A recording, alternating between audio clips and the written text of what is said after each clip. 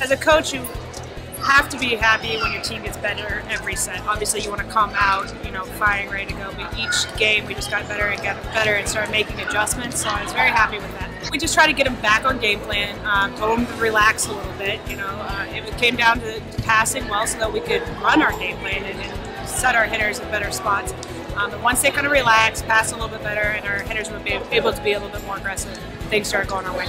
We talked about this is a very good team that we played tonight. They're very balanced. They have a lot of different hitters running different things, you know, and we were able to try to make adjustments. And some of the teams we play, we need to be able to do that next weekend. You know, if they're going to be running a faster offense, what are we doing from the defensive side of the ball?